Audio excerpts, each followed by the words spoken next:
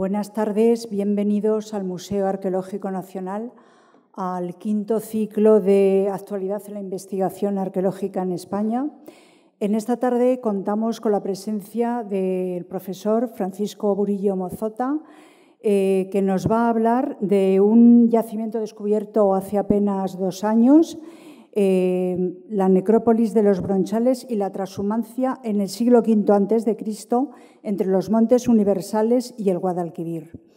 Profesor Burillo es una persona más que conocida en esta casa, pero aún así haré una breve presentación de su larguísima trayectoria profesional. Eh, catedrático de prehistoria de la Universidad de Zaragoza en el campo de Teruel, también fue director del Colegio Universitario de Teruel y del Instituto de Estudios Turolenses y es académico correspondiente de la Real Academia de la Historia.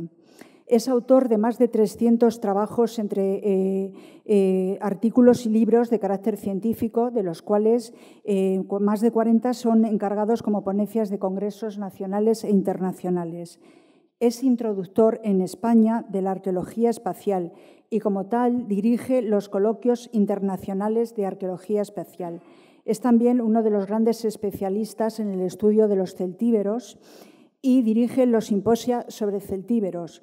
Su libro, Los celtíberos, etnias y estados, está considerada como una de las mejores análisis históricas sobre, este, esta cultura prerromana.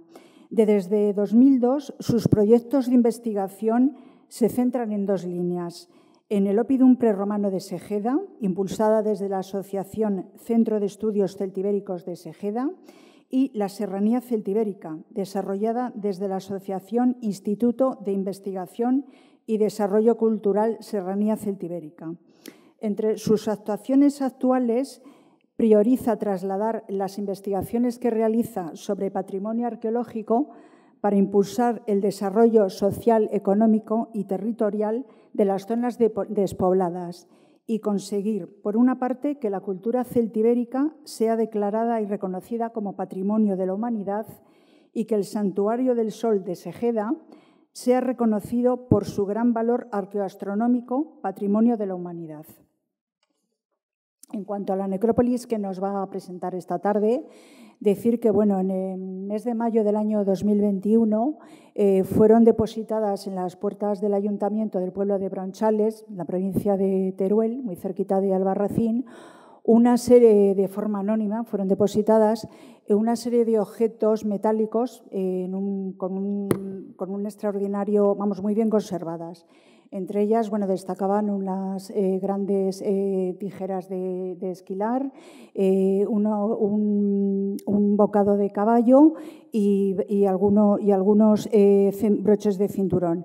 realizaron una serie de prospecciones geofísicas y, y de excavaciones y llegaron a la conclusión que esas piezas pertenecían a una necrópolis que estaba muy cercana a un poblado celtibérico que se conoce como Castillejo del Vallejo del Sordo de Bronchales. Eh, todas estas series de, bueno, de realizar una serie de excavaciones y todos los materiales que, bueno, hasta la fecha han ido obteniendo, eh, les han puesto en relación con materiales que están eh, muy íntimamente, son de, tipología similar, prácticamente idéntica, a los que se encuentran en, el sur de, la península ibérica, con, yacimientos andaluces. Así tienen eh, los bocados de caballo son de tipología bueno, iguales a los de Almedinilla que se encuentran expuestos aquí en el museo, en la, sala 11. Luego también los discos coraza de pectoral que se han puesto en comparación con los que aparecen representadas en las esculturas de, Porcuna, de los guerreros de Porcuna de Jaén. Y eh, esto les ha llevado a pensar que ya en el siglo V existían unas vías eh, de, comunicación que, estaban destinadas a la transhumancia entre la zona de los Montes Universales, eh, a la que corresponde el pueblo de Bronchales, con la zona del Guadalquivir, tal como se realiza hoy en la actualidad. Sin más dilación, le cedo la palabra al doctor Burillo para que nos hable de este interesante yacimiento.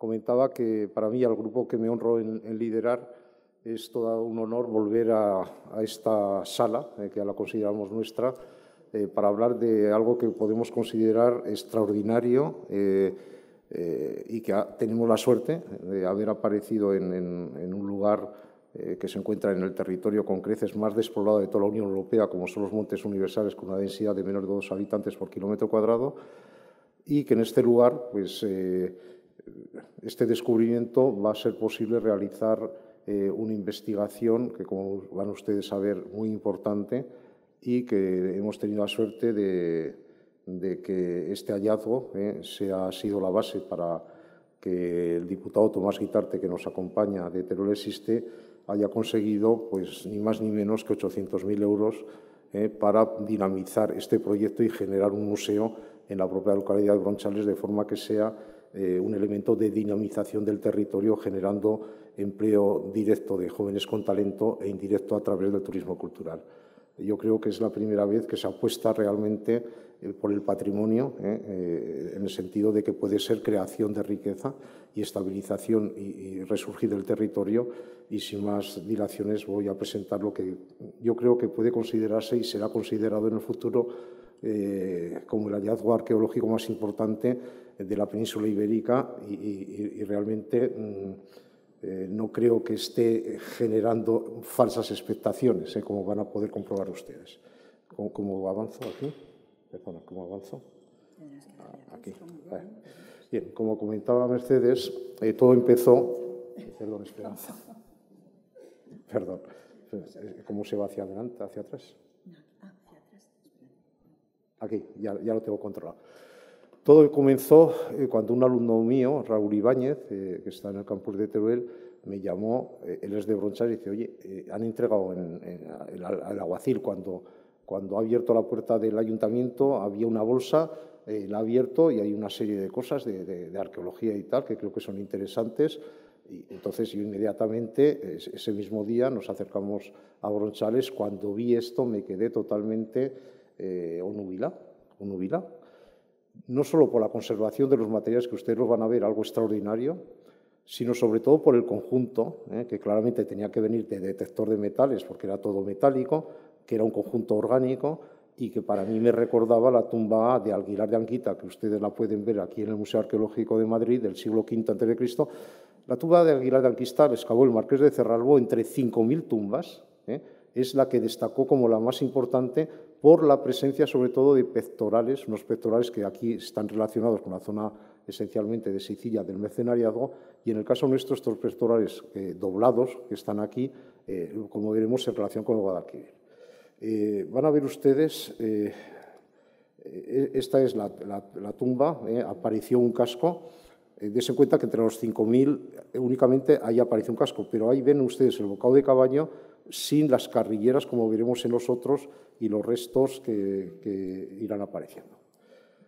Observen ustedes aquí eh, la conservación de las figuras. O sea, esa, figura de pie vuelto, como ven ustedes, o sea, como si estuviera recién hecha. Estamos hablando de 2.500 años de existencia. Y luego a la izquierda eh, ven eh, esa aguja que yo inicialmente no sube interpretar, porque me faltaba un paralelo. Lo que tienen ustedes al lado es otra figura anular hispánica ya hallada en las excavaciones que hemos hecho, donde ya nos interpreta de que aquí eh, teníamos una figura anular hispánica. Quiero decir que este conjunto, este conjunto en la celtiberia, en la celtiberia más profunda, a 1560 metros de altura, tiene elementos ibéricos como eh, esa figura eh, y ese broche de cinturón, observen ustedes, de nielado de, con nielado de plata, totalmente ibérico, eh, muy similar a este de los en la decoración, pero miren ustedes la conservación. O sea, eh, lo de la izquierda, la derecha del de los es la reconstrucción que hizo Cabré y la izquierda es la conservación del mismo. Y aquí tenemos lo que a mí me sorprendió, o sea, cómo podíamos tener a 500 kilómetros de distancia de la zona de Porcuna, donde habían aparecido este conjunto de esculturas que ustedes pueden ver en el Museo de Jaén, y les recomiendo que si no lo conocen vayan, ¿eh? porque nada tiene que ver que envidiar al mundo griego del momento en las esculturas, pues estos guerreros, hay dos que tienen unos pectorales lisos como los que hemos encontrado aquí, doblados en, esta necrópolis. ¿eh? Aquí tienen el otro guerrero y observen la reproducción que se ha hecho de, esos discos pectorales que se encuentran en este lugar. ¿Qué es lo que aporta eh, Bronchales? Bueno, pues que ustedes pueden ver ahí en el detalle no solamente la conservación de la franja de hierro para la cual en el reborde de, estos pectorales serviría para poder sujetarlo al pecho, sino en la zona interior tenemos las huellas del proceso de fabricación sobre el cual tenemos a un especialista trabajando para ver con qué instrumentos se pudieron elaborar eh, eh, estas placas. Y aquí tienen eh, el elemento sorprendente, porque normalmente el bronce suele conservarse bien, pero el hierro ¿eh? El hierro, debido, eh, cuando han pasado 2.500 años, está en un sustrato húmico, eh, la tierra se altera enormemente. Y aquí nos sale un bocado de cabaño. Observen que esto está todavía sin limpiar, pero mm, perfectamente manejable y con las dos carrilleras de hierro. Miren ustedes lo que es esta escultura de cigarralejo en, Murcia, en Mula, donde las carrilleras son de cuero como son normales en todas las necrópolis ibéricas, porque no aparece ninguna carrillera de hierro. Únicamente las tenemos en el ámbito de la Celtiberia. ¿Qué es lo sorprendente de esta carrillera? Es que si ustedes van a, ver la que está expuesta en el Museo Nacional de Arqueología, aquí mismo, de Almedinilla, como algo excepcional, es de la misma tipología. Es de la misma tipología que esta de la misma de Almedinilla. ¿Esto qué nos llevó? Pues algo que muchos me plantearon que era muy osado, que cómo me atreveía a decir que desde Teruel, desde estas tierras altas, hacía transhumancia hacia las zonas de Guadalquivir en el 500 a.C., pero esto fue la propuesta que yo veía claramente y que, como ven ustedes, los hallazgos no solo lo han ratificado, sino lo han confirmado en este sentido.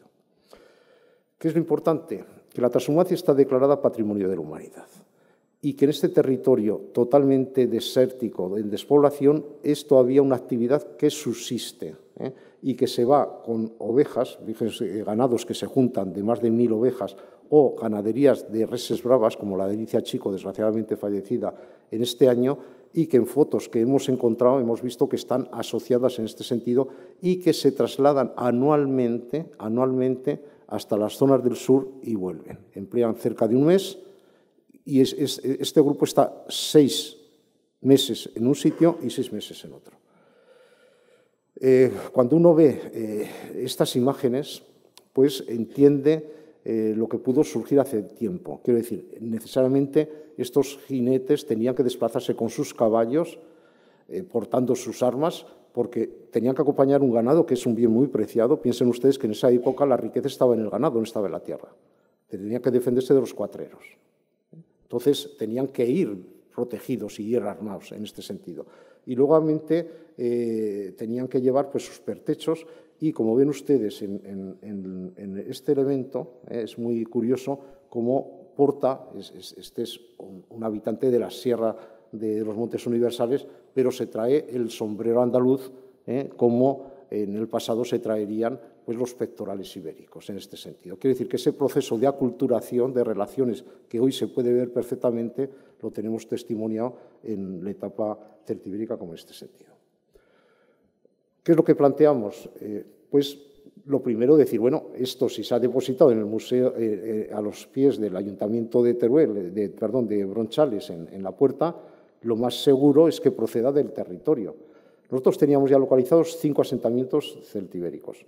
Entonces generamos un modelo predictivo, es decir, bueno, esta zona que se conocía perfectamente porque ya eh, Martín Almagro, antes de la Guerra Civil, había excavado una necrópolis en griego, luego Octavio Collado y otras personas habían trabajado sobre el territorio, si se hubiera ubicado en zonas llanas, como ha ocurrido en cantidad de necrópolis, ya hubieran sido descubiertas hace mucho tiempo, porque piensen ustedes que se conocen más de 76 necrópolis celtibéricas donde se ha excavado, la mayoría por en llano.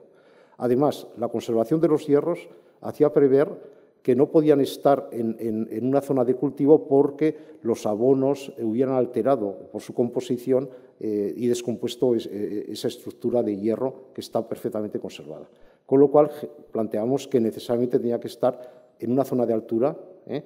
y cerca del asentamiento, como ya había ocurrido con la necrópolis de Numancia, que infructuosamente se había eh, intentado buscar ya a principios del siglo XX en el entorno de Numancia sin éxito, y fue precisamente cuando se descubrió con, un mercado de detectoristas, eh, cuando el equipo dirigido por Alfredo Jimeno pudo excavarla y en una publicación magnífica.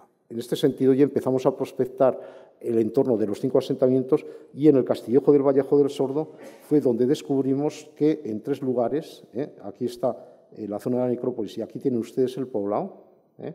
con dos fosos, donde descubrimos tres zonas que presentaban alteración en superficie porque está cubierta por una serie de de, herbáceas compactas, donde decíamos, esto es una huella de una alteración no controlada, aquí puede ser eh, que, haya, eh, que esté donde proceda.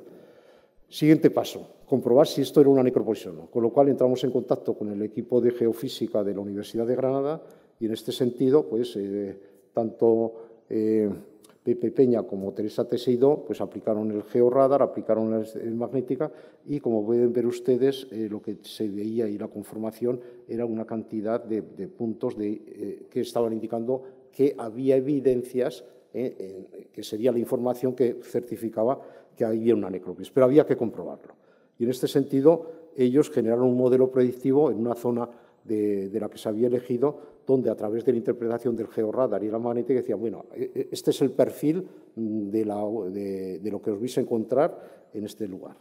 ¿eh? Se realizó ese año la excavación, se vio inmediatamente que había sido la zona perforada, se empleó metodología muy precisa de registrar cada uno de los objetos y lo que encontramos es que se había expoliado la tumba, pero quedaba un bocado de caballo con un trozo de carrillera, una fíbula increíble en su conservación y junto con eh, unas tachuelas eh, circulares, eh, semicirculares asociadas.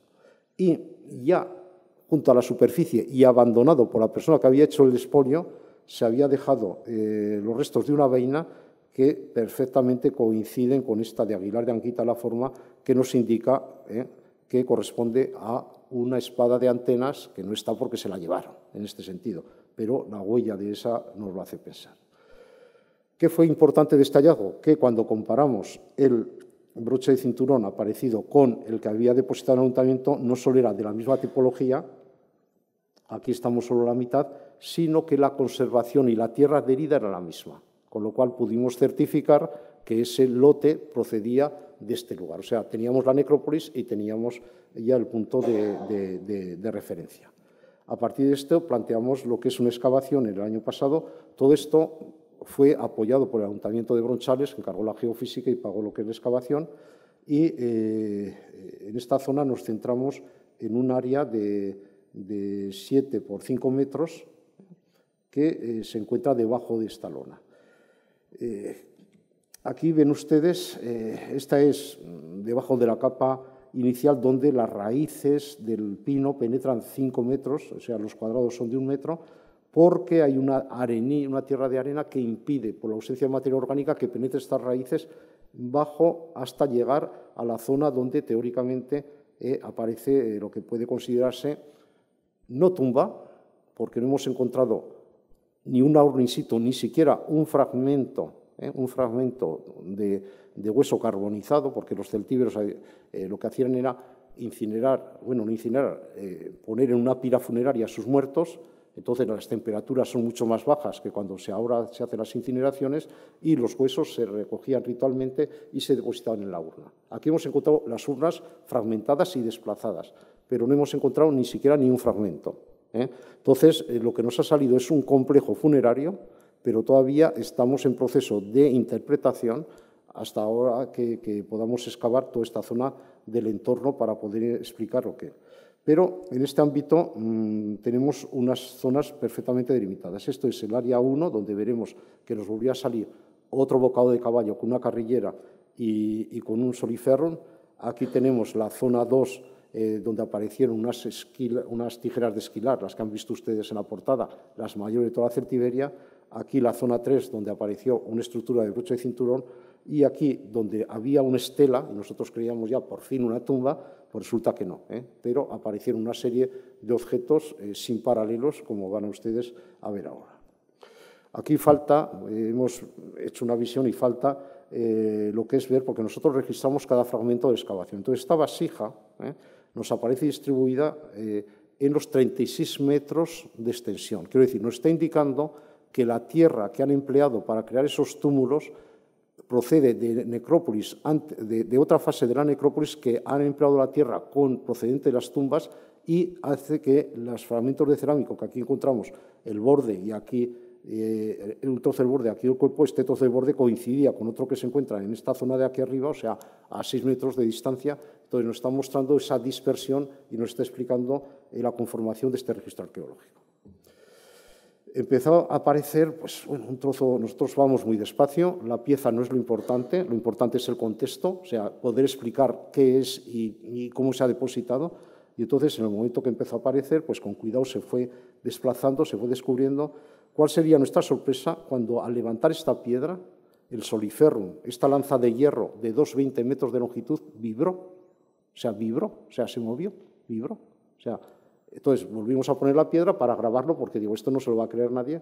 Desgraciadamente no hemos traído la filmación porque la conservación es extraordinaria y ustedes pueden ver el, registro arqueológico más importante de España, lo tienen aquí en el Museo Arqueológico de Madrid, vean los hierros ¿eh? y podrán entender cómo ha podido eh, un hierro de hace 2.500 años tener una conservación perfecta en este sentido. Esa capa de arenilla que conservaba eh, eh, las raíces es lo que nos explica esa conservación excepcional de estos materiales. Eh, junto al, al, soliferrum apareció, como ven ustedes aquí, una de, las carrilleras y junto a ella un bocado de caballo depositado directamente sobre una roca, o sea, sobre una piedra, en este sentido. Nosotros llevamos, gracias al equipo interdisciplinar que hemos creado, un registro muy meticuloso de la información.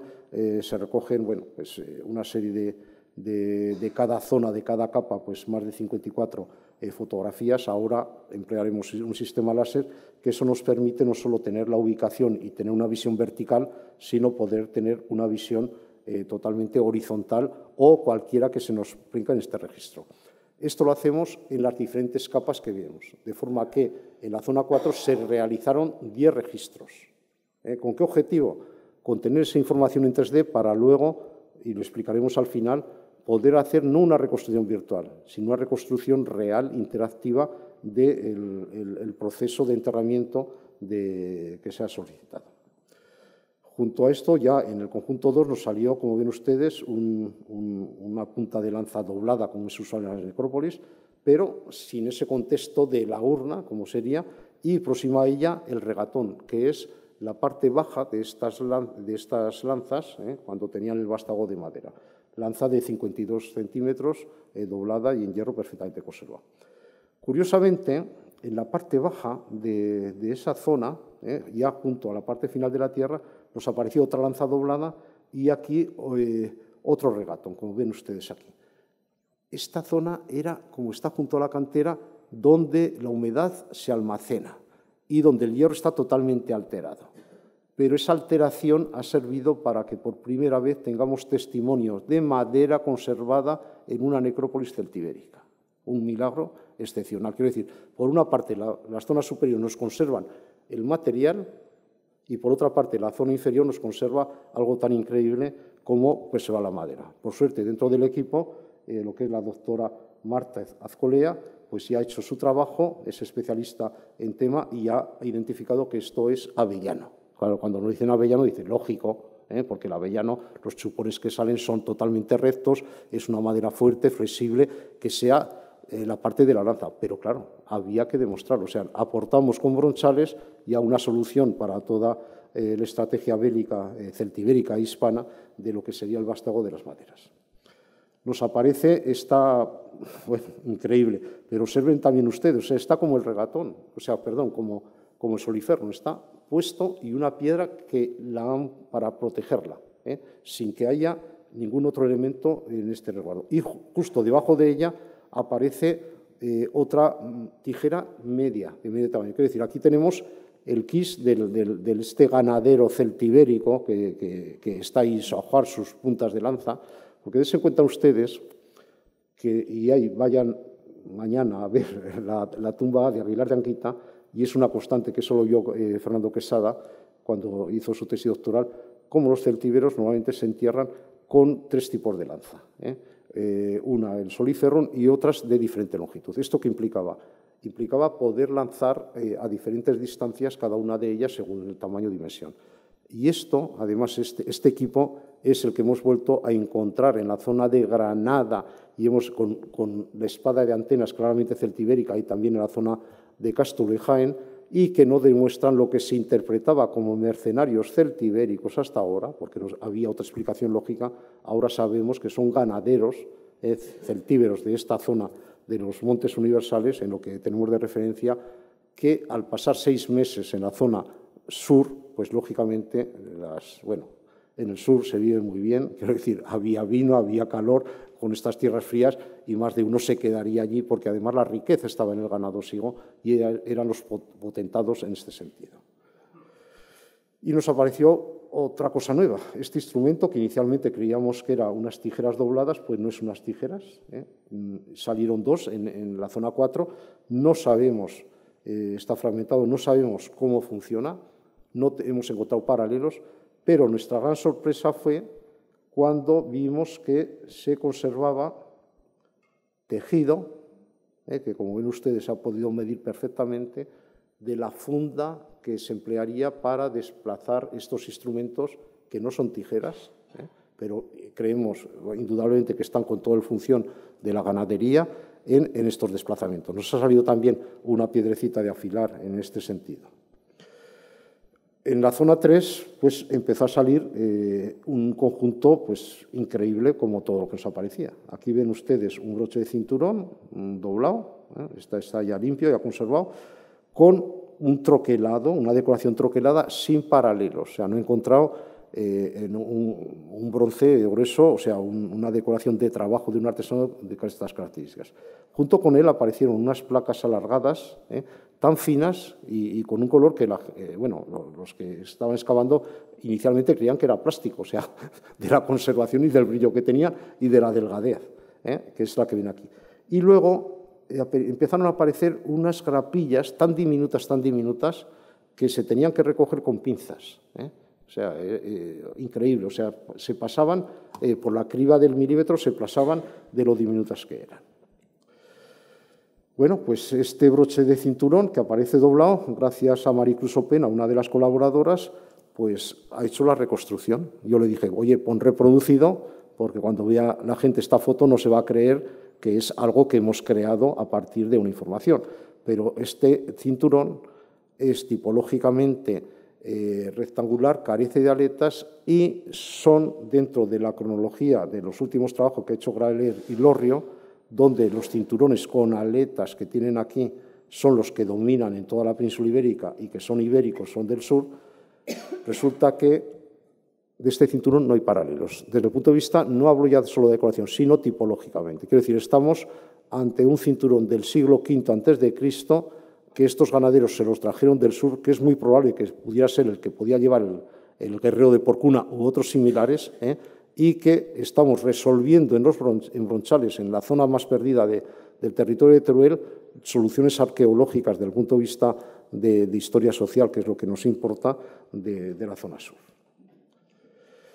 Bueno, y empezaron las rapillas estas, eh, unas dimensiones que, como ven ustedes, de menos de un milímetro de grosor. Y había dos tipos, unas mm, de forma de U y otras bordeando, eh, como ven ustedes, eh, están trozando, alineadas.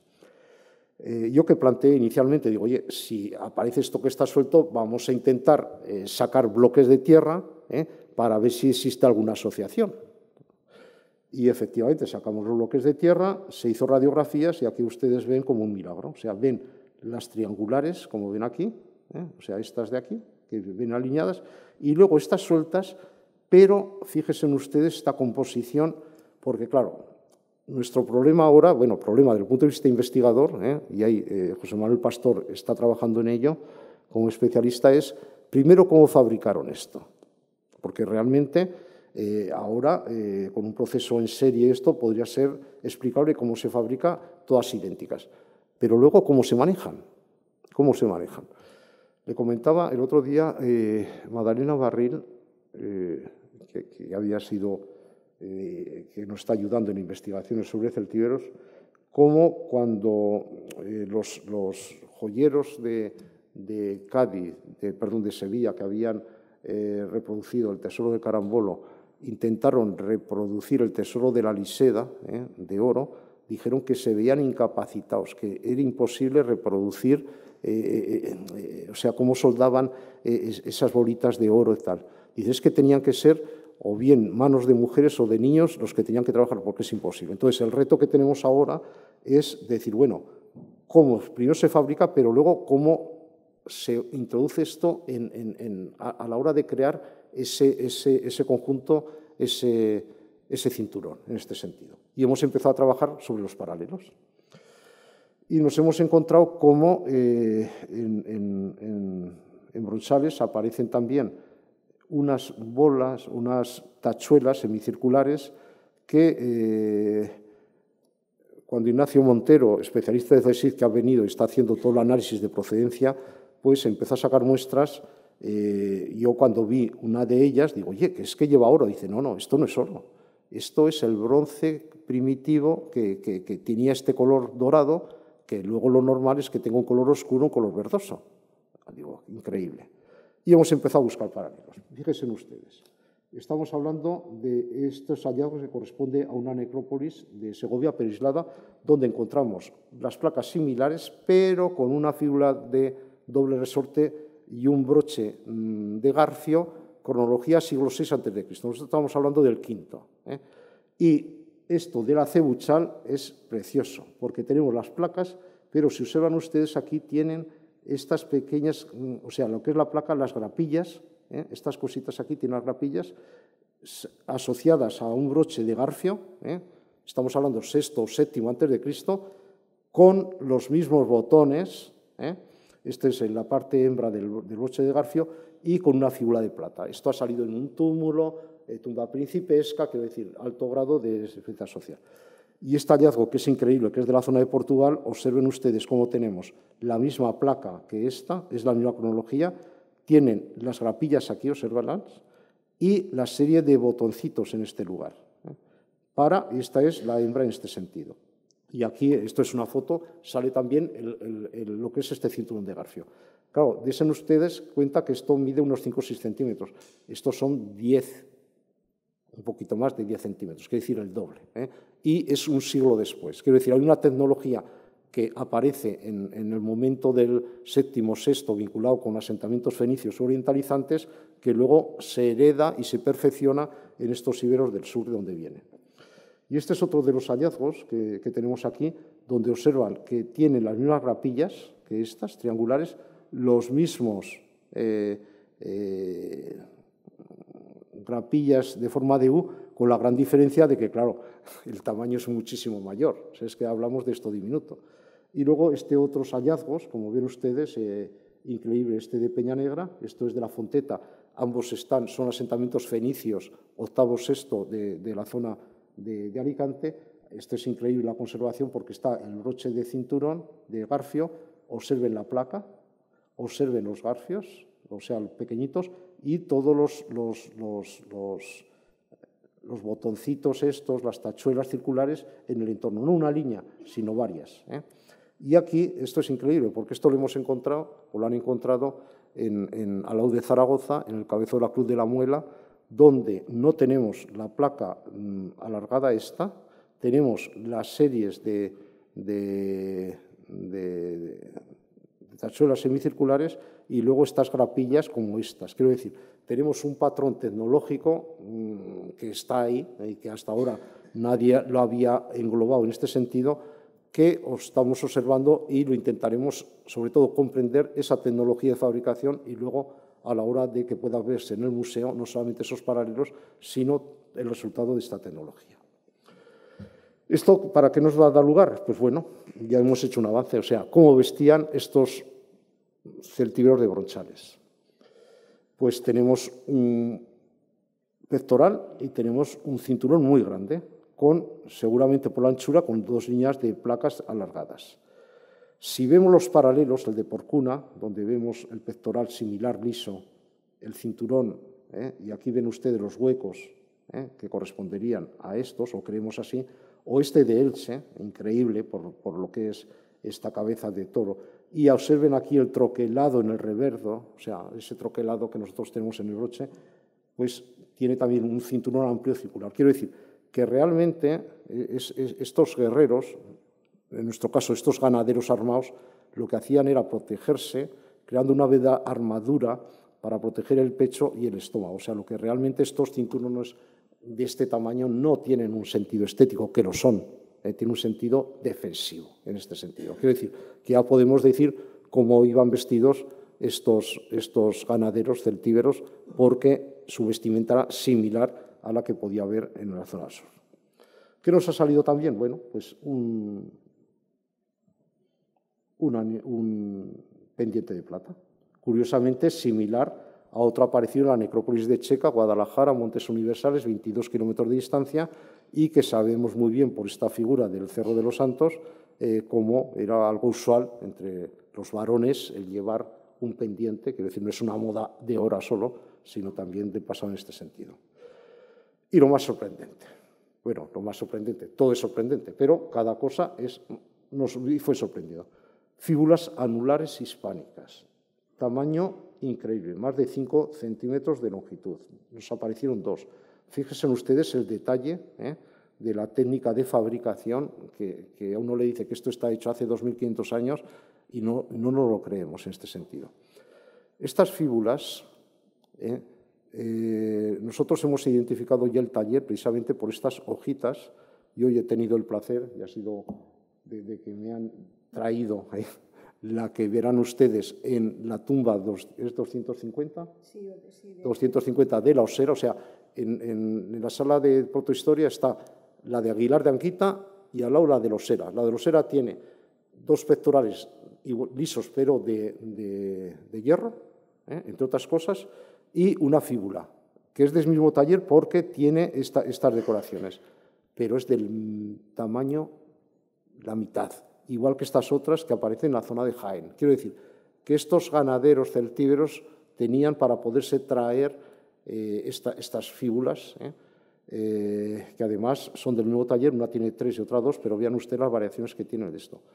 Y esto nos está permitiendo conocer cómo irían vestidos estos celtíberos cuando se quitaban su armamento, o sea, cuando iban por casa, lo cual nos está cambiando la visión de estos celtíberos de 1.560 metros de altura.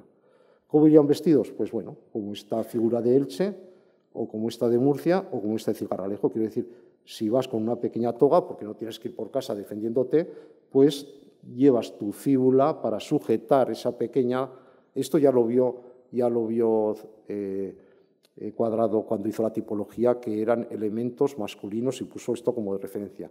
Salvo las pequeñas, eh, que se utilizaban para sujetar en la zona del cuello, la vestimenta, como ustedes pueden ver en la dama de baza, que se ve la puntita de una figura anular ¿eh? pequeña para este sentido, pero no estas grandes que se utilizan para sujetar estas pequeñas toas, ¿eh? no son como las romanas que se envolvían, o estos mantos. Quiero decir, abandonemos la imagen esta de los saguns que se nos ponen, de los pastores de Numancia que van protegidos así, o sea, esa imagen eh, zarapastrosa de, estos celtíberos de montaña ganaderos. No, estamos ante unos señores que tienen la pulcritud de, vestirse eh, al igual que eh, la gente de la zona del sur. ¿Cuál es el único hallazgo que hemos celebrado con champán? El único. ¿eh? Habíamos tenido hallazgos excepcionales, pero cuando a mí me enseñaron este fragmento de cerámica, que es del tamaño de una uña, Digo, es que esto es importantísimo. Dice, ¿pero por qué? Si no es grande, si, si es un objeto. Digo, no, pero ¿sabéis lo que significa esto? ¿Sabéis que es un trozo de cerámica griega que hasta ahora no ha aparecido ninguna en la Celtiberia? ¿Sabéis que esto implica que estos señores traían vino desde 400 kilómetros a estas zonas altas de, de, Teruel Pero no solo se traía el vino, se traían lo que era la vasija para beberlo, porque es mucho el, beberlo con, con, estas cerámicas perfectas, ese barniz suave en los labios, no tiene el mismo placer que beberlo con una cerámica ibérica o celtibérica, por muy buena que esté. ¿eh? Pero además, el que aparezca dentro de la necrópolis nos está implicando la existencia de un ritual vinculado con el vino, ¿eh? cosa que lo tenemos en la zona del Bajo Aragón hasta el Golfo de León o en la zona eh, de, Andalucía, pero no en el ámbito celtibérico. Por eso celebramos esto con, con champán, porque el tamaño en este caso no importa. Y ahora vienen los Reyes Magos, ¿eh? no sé si es Melchor, Gaspar o Baltasar, pero nos acompaña Tomás Guitarte, diputado de Teruel, porque él desde el inicio que vio que está algo excepcional y que era importante, no por lo que es desde el punto de vista arqueológico, sino lo que puede suponer de cara de identidad del territorio, piensen ustedes que la transhumancia sigue, pero sobre todo de generación de empleo directo de, investigadores y de, de indirecto a través del turismo cultural. Bueno, pues él negoció y consiguió algo increíble. ¿eh? Yo creo que en la historia de la arqueología marca un antes y un después. Destinar 800.000 euros a este proyecto. Y solo tiene un único problema. Hay que gastarlos en este año. Es el único problema y el reto, pero lo vamos a cumplir. ¿eh? Eh, primer problema que tenemos, ¿cómo musealizamos la necrópolis? Si uno excava, si uno excava un poblado, un asentamiento, una ciudad, una villa romana, no tiene problemas de musealizarlo. Salen muros, si es una villa romana como esta de la Olmeda, bueno, sus mosaicos impresionantes, entonces, bueno, un proyecto de diseño y, lógicamente, eso se convierte en un punto de atracción turística, ¿eh? porque hay que ver esos mosaicos. Pero claro, nosotros lo que vamos a dejar una vez que excavemos va a ser un hueco, un vacío. O sea, el reto es cómo mm, ilusionamos a la gente para que venga ese proceso a ver un vacío. hay una historia ya contada. O sea, ¿cómo va la gente a Tapuerca? Que son miles de personas que van, si no ve nada. si lo que está en la cima de los huesos está ya excavado y no se puede visionar. ¿eh? Si lo que es la, la, gran trinchera, pues se ve unos andamios sin tal. O sea, si es una excavación. O sea, no hay más que una historia. Nosotros vamos a contar una historia, pero vamos a contar mucho más. Lo que nosotros eh, vamos a recuperar es eh, lo que Pablo eh, Serrano, el escultor considerado como el uno o el más importante del siglo XX de España, llamó la presencia de la ausencia. La presencia de la ausencia. Él reflexionó, trabajó mm, dentro de sus múltiples reflexiones metafísicas plasmadas luego de cómo eh, realmente ese, objeto era la, estructura trágica del objeto, si realmente tú tienes un objeto, un elemento material, ¿eh? piensen ustedes, una tumba que contiene todos los elementos, una vez que esto se quema, una vez que nosotros lo excavamos, únicamente queda un hueco, en nuestro caso un vacío. ¿eh? Lo que la gente no sabe, porque no lo he visto, es algo que me comentó Pablo Serrano en una de las reuniones que tuve la suerte de tener con él en Teruel. Y el que se había inspirado en la quema del objeto en los sepulcros antropomorfos fenicios de Cádiz, donde él se quedó impresionado con esta imagen en la cual eh, se veían estas imágenes eh, con un realismo, a pesar de la simplicidad del cuerpo, pero en la expresión de ese mármol blanco, y realmente le impactó tanto que generó esa, esa, línea. ¿eh? Entonces, nosotros lo que nuestro reto es crear esa presencia de la ausencia, quiero decir, llenar el vacío. Por lo cual, toda la estrategia de investigación que hemos llevado ahora la vamos a depurar. Ahora, eh, cuando nosotros excavemos eh, una tumba, vamos a registrar, y para eso están los medios económicos, con todo esa de escáner de láser 3D, no solo cada capa, sino cada elemento que salga, cada fragmento, cada piedra, para luego poder generar algo nuevo. O sea, no estamos hablando de realidad virtual, estamos hablando de una novedad a nivel arqueológico, no hay paralelos, donde se pueda luego recomponer no solamente el proceso de excavación, sino el proceso donde se han depositado los elementos. Quiero decir, nosotros vamos a musealizar el vacío, ¿eh? vamos a musealizar la presencia de la ausencia, ¿eh? con no una realidad virtual, sino la gente con, con, sus tabletas o ya veremos los sistemas, porque lo que no queremos es esto esté en la red. La gente que venga al lugar a verlo ¿eh? y que tenga esa sensación del sitio y en estos lugares donde hace 2.500 años se depositaron los difuntos y los muertos con sus Juárez, pueda entenderlos, pueda verlos, pueda interactuar con ellos en este sentido. Y luego sí que vamos a tener, obviamente, con este presupuesto, un espacio físico, un museo pero un museo vivo, o sea, un museo no donde sea un simplemente lugar de almacén de, materiales arqueológicos, ¿eh? sino dinámico, con todos estos paralelos que estamos trabajando, donde se intente representar la sociedad celtibérica y sus relaciones y que la gente pueda enamorarse, en el sentido total de la palabra, de esta sociedad de hace 2.500 años, ¿eh? de, de sus modos de vida y sus formas de relaciones. Y tenemos la suerte de que, fíjense ustedes, qué edificio en un pueblecito de de 400 habitantes, eh, en el cual está negociando el ayuntamiento para adquirirlo.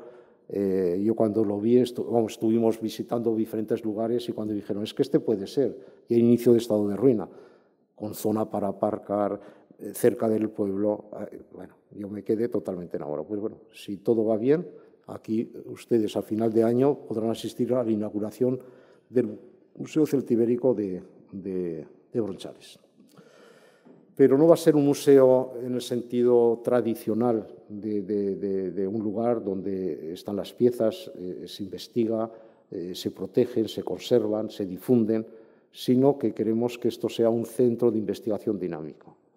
En realidad, que este proyecto, que es del Instituto Serranía Celtibérica, eh, suponga la suma de los proyectos que he venido liderando desde el Seminario de Arqueología y Etnología Turolense o del Centro de Estudios Celtibéricos de Ségeda. Quiero decir, que toda esta línea de actuación que desde el año 79 se viene liderando de Teruel, ahora se traslade a Bronchales. Y en este sentido, pues ustedes están invitados este año al séptimo coloquio internacional de arqueología espacial. Eh, se, se, publica en, los primeros fueron del 84, la primera serie. Ahora el próximo será el, el número 29, eh, que se celebrará en Bronchales. O sea, no se celebrará en Teruel como hasta ahora lo hemos celebrado, sino en Bronchales, en, en este centro museo. Y luego también pues, eh, el octavo simposio sobre celtíberos, ¿eh? esta serie que me honro en haber dirigido, pues también lo vamos a celebrar en Bronchales. ¿eh? Se va a recoger pues, y, ustedes tendrán la oportunidad de ver en ese momento ya lo que el lugar, las, los materiales que hayan aparecido y sobre todo, para mí lo que es importante, tener un nuevo hogar desde el punto de vista de que tenemos los investigadores para toda esa línea de trabajo que habíamos creado perdida, eh, porque no había un apoyo económico, ahora se tenga un marco eh, ilusionante para hacer algo que creo que es vital. O sea, los centros de investigación y los centros de desarrollo no tienen por qué estar en las grandes capitales o en las pequeñas capitales. Pueden estar en un pueblo pequeño eh, y eso puede generar un, elemento de, relación en este sentido. Hay una cosa que, me llamó la atención y, quiero acabar con ello. Ustedes han oído hablar del foro de Davos. Eh, Davos es una localidad en la zona de Sicilia que se caracteriza, es, pequeña, no tiene más de 7.000 habitantes, para, para, Suiza pues es pequeña. Pero su prestigio venía porque eh, era el lugar donde se iba desde el siglo XIX a tomar aires, a curarse de la tuberculosis, eran los sanatorios naturales. Bronchales da la casualidad de que en el siglo XIX principios del XX era el lugar, sobre todo la gente de Valencia, que, venían a, curarse de la tuberculosis. ¿Por qué? Porque es una zona de altura, eh, eh, Lagos, eh, Davos está igual a altura que, que, Bronchales, estamos hablando de 1.570 metros de altura, y en este sentido esta metáfora, que no es metáfora, no es metáfora, sino pues una realidad. Quiero decir, lo que nosotros estamos viendo, una tradición histórica que lógicamente aquí no ha tenido una continuidad, o sea, no ha habido un foro de Bronchales como ha habido un foro de Davos, ¿eh? Tenemos la oportunidad de que esta pequeña localidad turolense eh, pueda ser, con toda esta estrategia de desarrollo y de investigación que estamos realizando, no solo en el tema arqueológico, sino también en el tema de despoblación de, de toda España y del tema sur de Europa, pues un elemento de referencia de reuniones internacionales vinculadas no solamente con el patrimonio, sino con el tema del desarrollo del territorio en las zonas despobladas. Y muchas gracias.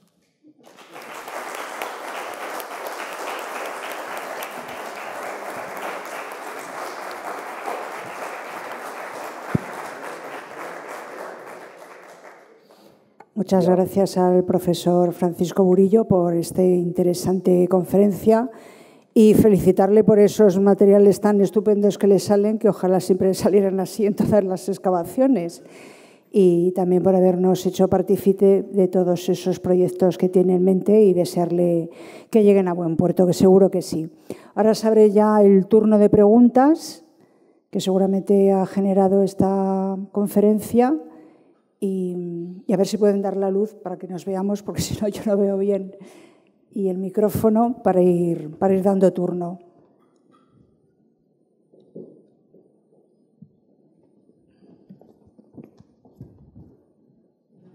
Sí, a ver, a ver si trae el, esta, esta señora. Esta. Buenas tardes y muchísimas gracias por su intervención, que es muy interesante. Eh, tengo varias preguntas. La primera, mm, la zona que se ha excavado, más cerca. Ahora, eh, la zona que se ha excavado, mm, vamos a ver, es muy amplia, todavía queda por excavar mucho. Y la segunda es, en esa zona de excavación, eh, ¿tiene proyecto paralelo al museo de poner alguna zona visitable, pero visitable eh, de la forma que usted ha expuesto antes, ¿no? Eh, con esa eh, presencia de la ausencia que usted comentaba, o todo eso sería parte del museo. gracias por su pregunta. Tenemos excavado un 5% aproximadamente. Em, las necrópolis celtibéricas conocidas, ¿eh? y ustedes pueden ver porque tienen imágenes, mm, cuando uno ve esos campos de estelas en calles, nos recuerda a nuestros cementerios. ¿eh? O sea, eh, se diseñan para que cada difunto tenga su mismo espacio. Y luego dentro de ese espacio, dependiendo de, los vivos, porque los muertos no, no se entierran, son los vivos los que le enterramos con sus ajuares, depositan lo que creen necesario, pero no hay cambio.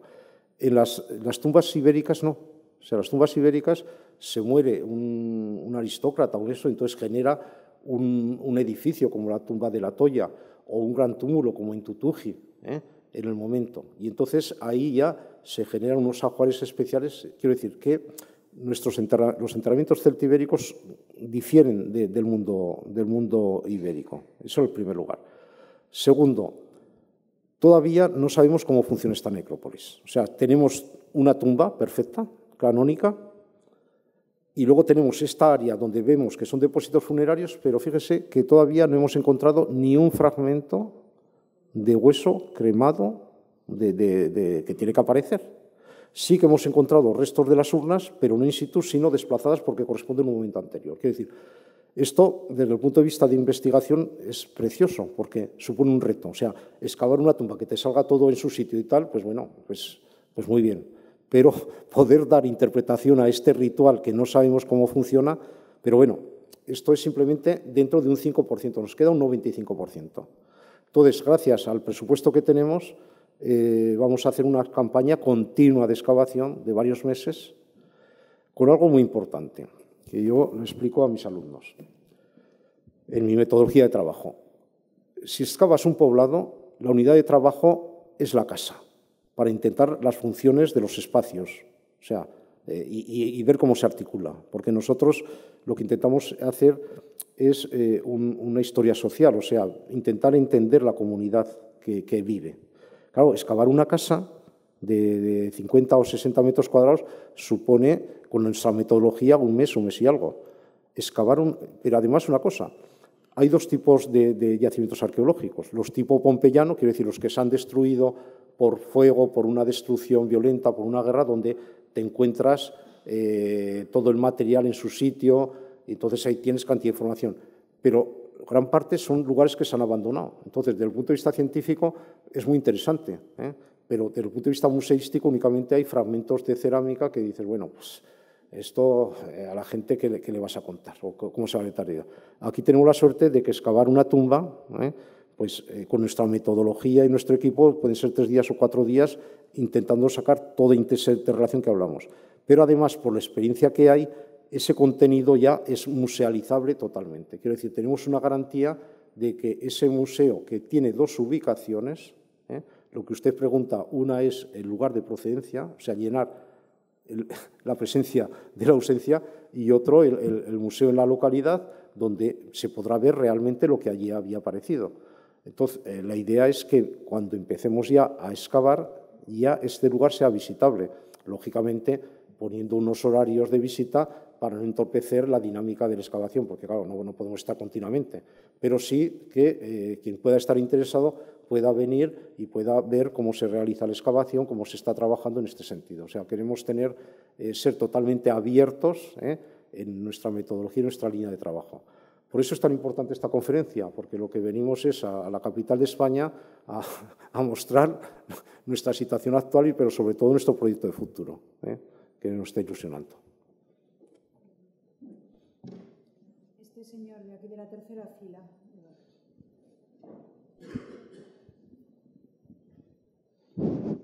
Hola, buenas tardes. Muchas gracias por exponernos estos hallazgos tan interesantes. A mí me gustaría que, si tiene un instante, profundizase un poquito sobre la cuestión de la transhumancia. Eh, la transhumancia en la antigüedad, como seguro que conoce perfectamente, es algo, una idea un tanto etérea. Eh, a partir de cuestiones filológicas, a partir de trabajos sobre fuentes, se ha hipotetizado respecto a la probabilidad de que existiera una transhumancia eh, en época prerromana o incluso romana. Usted nos aporta aquí unos elementos materiales que son inéditos y que mm, apoyarían una idea largamente debatida que tiene sus pros y sus contras, pero no ha profundizado mucho al respecto. Eh, esos elementos mostrarían la existencia de una transhumancia en, eh, pongamos la etiqueta que se le quiera poner, eh, en la edad del hierro continuada en el tiempo o solo es una pequeña idea que está sin rematar.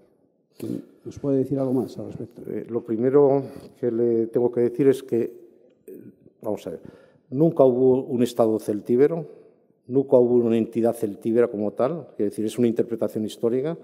Eh, lo que celtíberos tienen una diversidad, tienen elementos comunes, y lo que nos está saliendo en Bronchales es único para Bronchales. Me explico. A 20 kilómetros está la necrópolis de griegos la necrópolis de griegos. Ustedes pueden ver en el Museo Arqueológico, es que estamos en, en donde está lo mejorcito de España. El gran tachón, el gran escudo, nacido en griegos, ¿eh? que nos viene, vamos, los paralelos están en la zona del sureste, la zona... Pero en Bronchales, o sea, que está indicando una relación, una relación, los cuatro broches de cinturón aparecidos son de garfios, lo que se llamaban célticos, que ahora sabemos que no son, son de garfios, no hay ni un ibérico. Yo tengo un artículo que ahora me lo tengo que comer con, muchas cosas, donde critiqué la existencia de transhumancia en la Celtiberia. Lo tengo escrito, un artículo potente, y di mis argumentos. Pero partía de la sociedad de los castellanes de Herrera de los Navarros, partía de, de Ségeda, o sea, de una zona donde el ecosistema y la explotación era de, de explotación cerealista dominante, explotación eh, con vino ya, hemos encontrado un lagar en Ségeda anterior al 153, y luego sobre todo un estudio antropológico que habíamos hecho en la zona de Túnez y de Marruecos, y, en la propia zona celtiberia, donde eh, uno va por Marruecos y, va por Túnez y puede ver perfectamente por la carretera, y por eso como va el niño, el abuelo o la mujer con dos ovejas y, y dos corderitos detrás y tal. Y nosotros hemos hecho estudios de ver cómo ordeñando a, una cabra, ¿eh?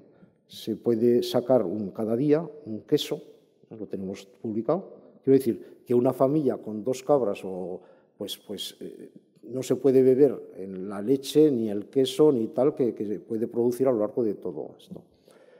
Pero claro, luego me di cuenta que esto era aplicable a, la zona de Herrera de los Navarros, una climatología, pues bueno, con un tipo de ecosistema mm, mediterráneo porque, como me decía un, labrador de, la zona de Guadalajara, decía que, antes un, labrador, un campesino sin orejas que sin ovejas.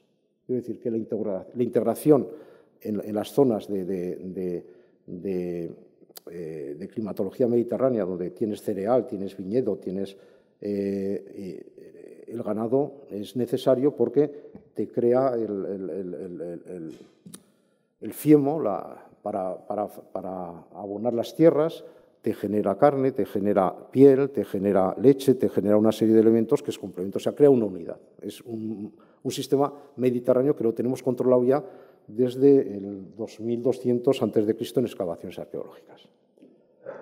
Claro, aquí estamos hablando de 1560 metros de altura, de 1560 metros de altura, donde en un territorio, fijaros lo que os digo, la densidad demográfica es de 1,7 habitantes por kilómetro cuadrado en censo. En censo. La, real, o sea, la residente, la que en la proporción puede ser el 0,60, estamos por debajo de la densidad de población de la Laponia finlandesa, que es de 2. Cuando la Laponia finlandesa en el solsticio de invierno, la luminosidad es cero. Aquí, en el solsticio de invierno, es de nueve horas. ¿eh? Allí ni agricultura, la única ganadería es la del reno trashumante ¿eh? y los recursos que pueda haber.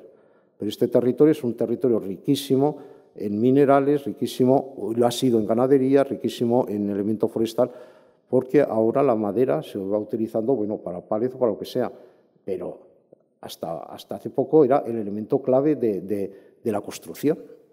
¿eh? y a través del Tajo, ¿eh? y ahora ha sido declarado Patrimonio de la Humanidad, se llevaba esa madera por todo el Tajo como elemento de construcción. Entonces era un territorio riquísimo en este sentido.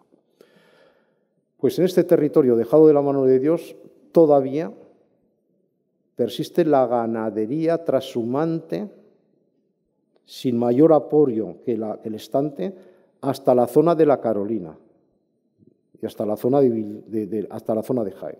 Quiero decir, hay una actividad de transhumancia que sigue, en la cual es precioso porque eh, a mí que, me interesaba investigar lo que era la antropología social, el tema del campesinado, mi tristeza es que, es que los campesinos ya han desaparecido.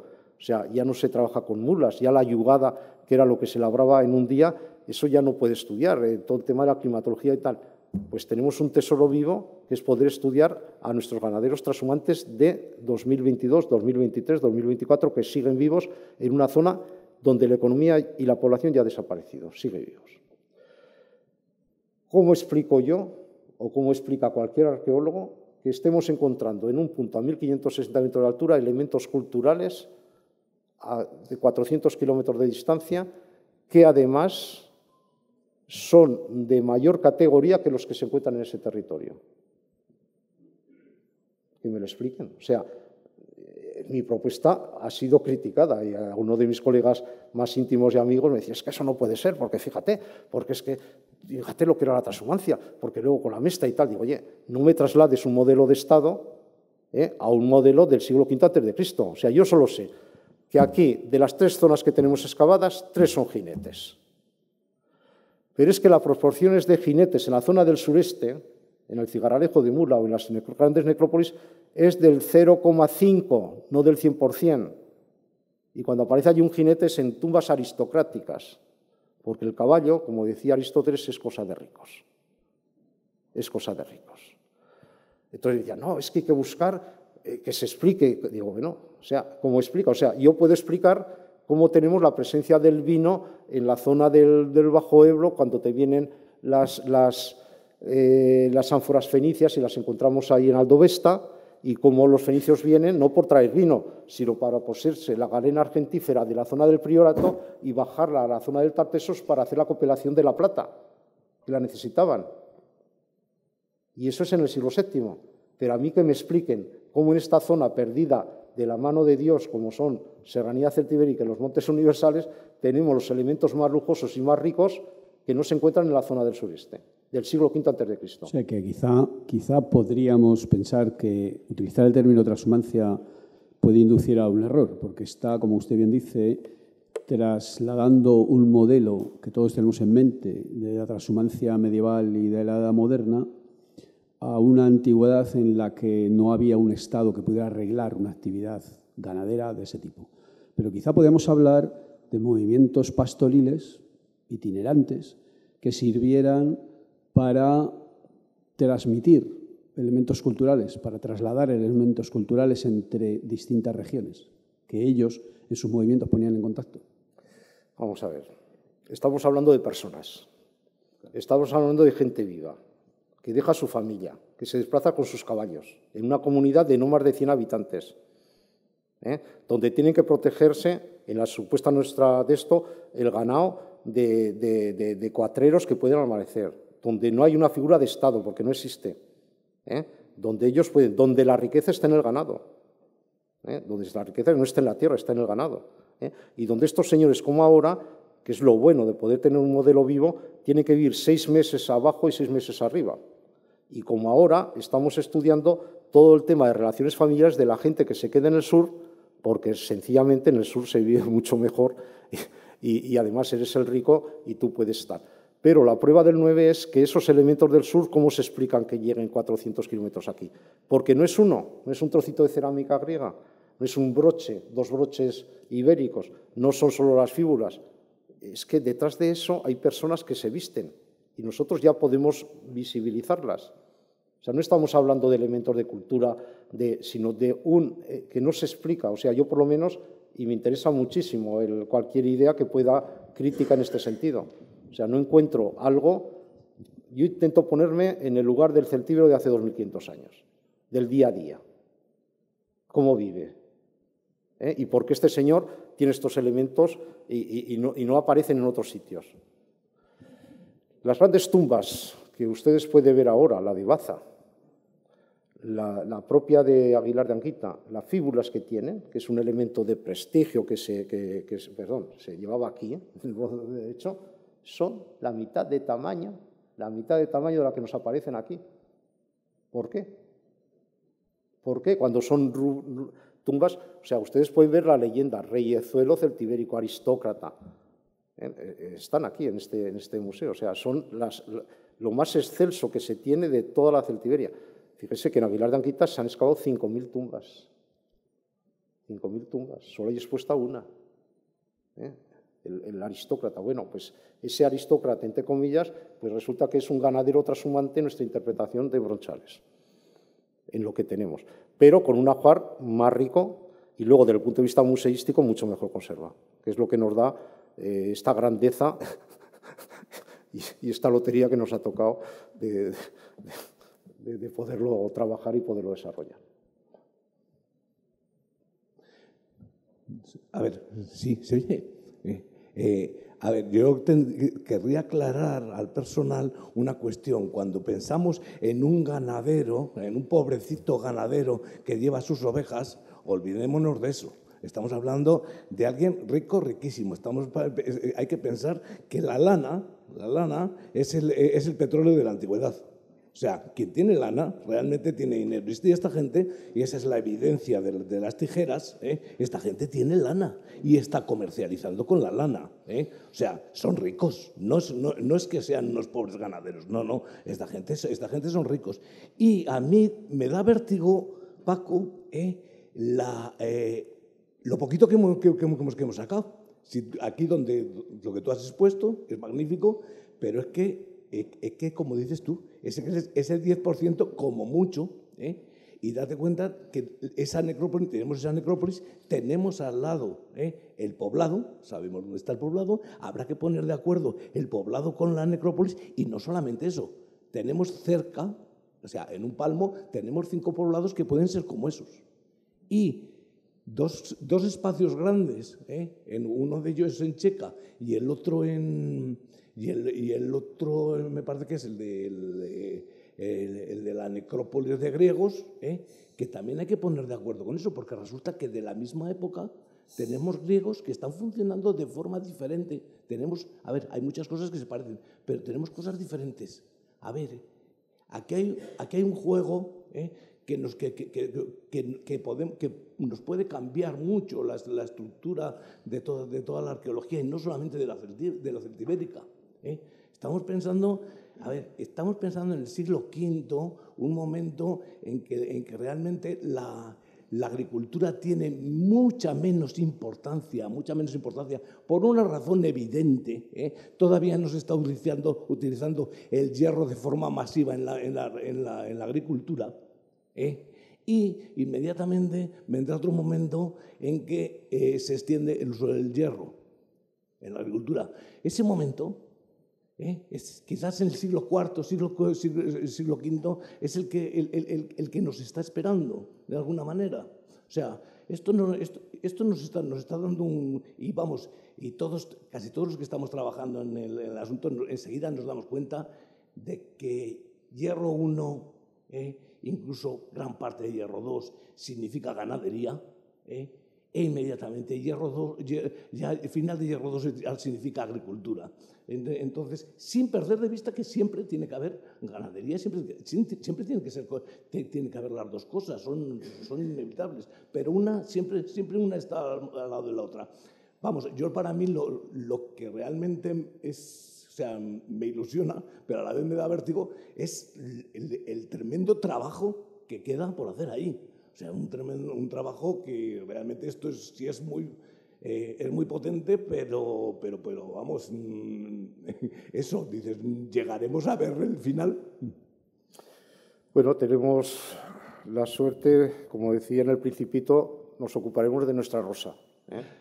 Quiero decir, la, tenemos la suerte de, de, tener un legado importantísimo que es esta necrópolis, esta es la que va a marcar la referencia de toda la celtiberia, como es, pero siendo conscientes que la información es de una sociedad ganadera de alta montaña, 1560 metros de altura, de bronchales, punto.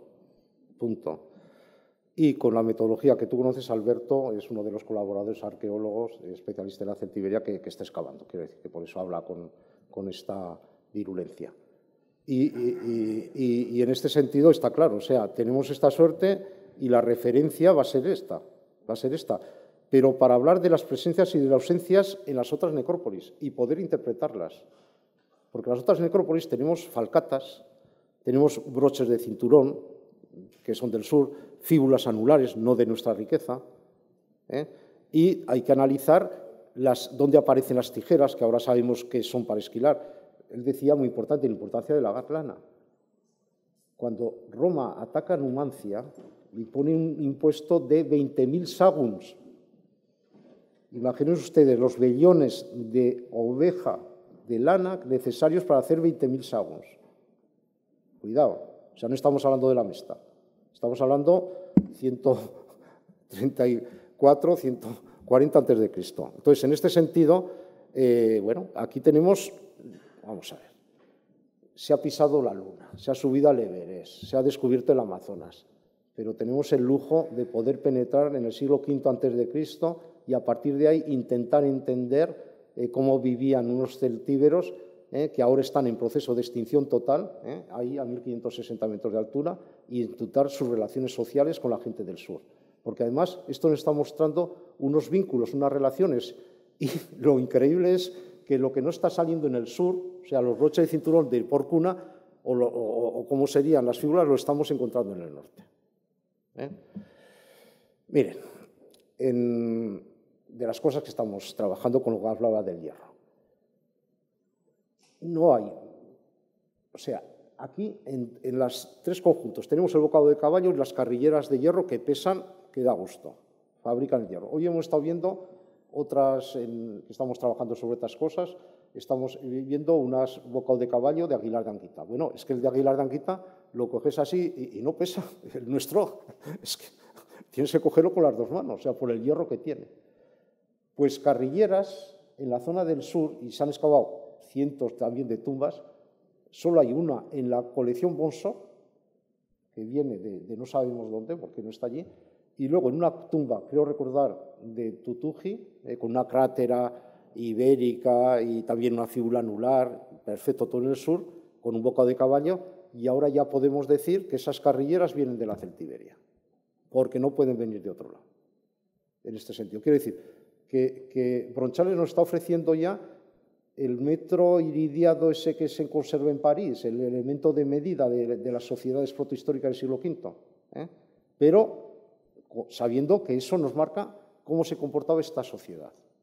Y lo importante es la diversidad en el tiempo y el espacio de los celtíberos. O sea, esto que se nos da en los libros como una cosa es que los celtíberos, el origen, la lengua, no sé qué, no sé cuánto, no, oiga, los del quinto antes de Cristo, los que viven en la montaña y tal, eran así. Y esto no tiene nada que ver con los que habitan en Ségeda, que cambiaron el calendario, etcétera, etcétera. ¿Eh? O sea, esta diversidad es, el lujo que estamos teniendo.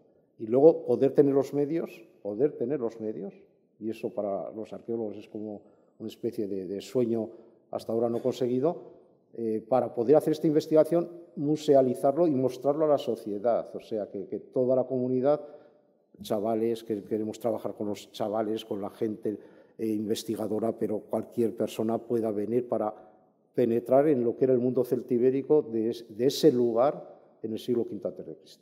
Y ese es el reto que tenemos. ¿Eh? Y como tú bien sabes, lo vamos construyendo día a día. Nuestro objetivo ahora es en este año publicar todo lo que estamos eh, recogiendo en este sentido. Va a ser una publicación que, bueno, va, va, a marcar un día antes y un después por, todo lo que ustedes están viendo o, hemos visto aquí. Y, luego las cantidad de especialistas, eh, los tejidos se están analizando en Ravenna, quiero decir, eh, estamos una red de los isótopos de plomo de la analítica, están ahora en Alemania para comprobar que realmente vienen de la zona andaluza, quiero decir que luego todos los argumentos que aquí se han expuesto van a quedar ratificados, pero dentro de un proyecto, o sea, no van a ser analíticas a ver lo que sale, ¿no? sino dentro del proyecto que estamos haciendo. Desde luego el, reto es, complicado, ¿no? Intentar hacer atractivo un vacío para que esté lleno de atractivo es complejo.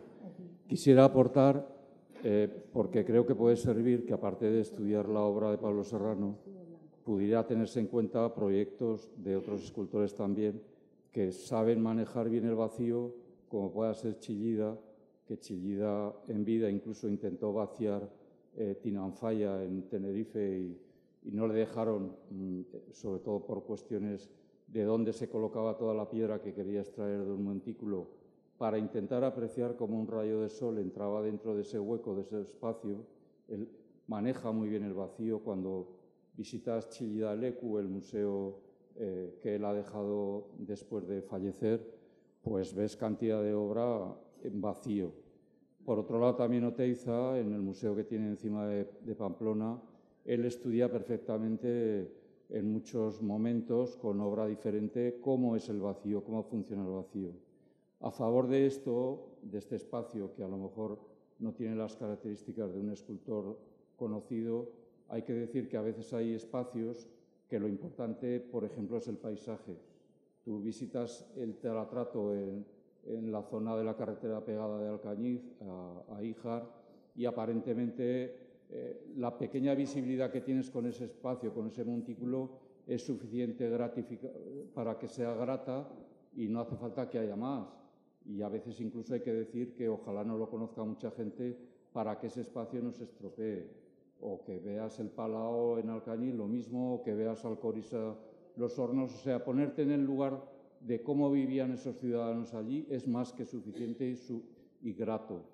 Por otro lado, y a lo mejor es arrimar el asco a mi sardina, ese espacio, casa o, lugar de estudio, para, igual que se ha hecho aquí, un paralelismo entre lo que se ha encontrado, esos fragmentos, pueda haber al lado una pieza completa, es decir, estoy hablando de reproducciones, para que la gente comprenda cómo es la pieza completa alrededor de ese pequeño trocito o gran trocito que se ha encontrado, desde una fíbula, eh, una carrillera o, una falcata. ¿no? Entonces, eso crea un atractivo eh, igual que se ha hecho aquí buscando paralelismos con obras que ya existen. ¿no?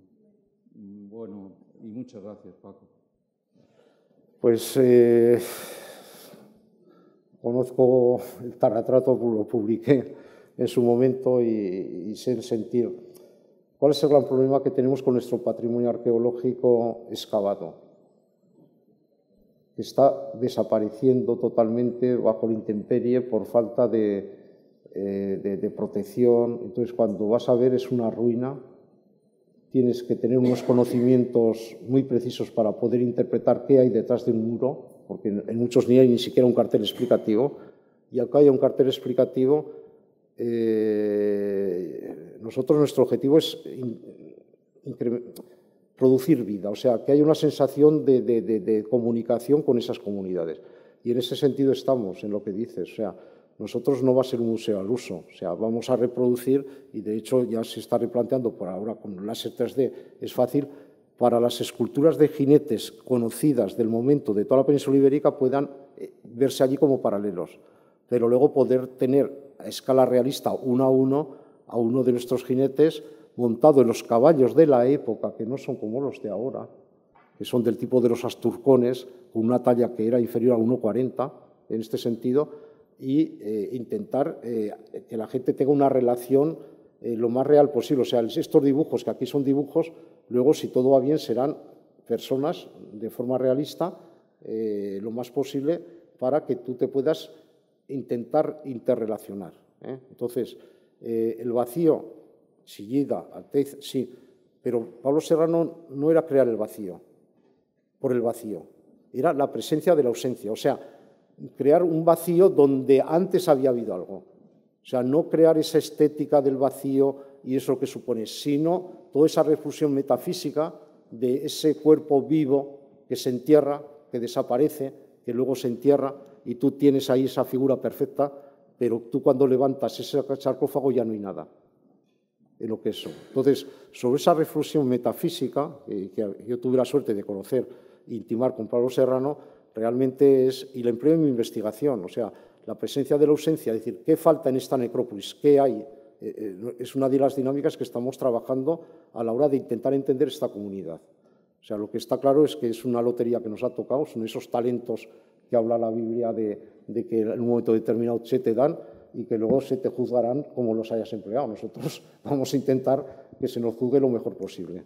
Por eso es tan importante esta conferencia en el inicio del proyecto y, las preguntas que ustedes hacen a la hora de, de intentar clarificar lo que estamos haciendo.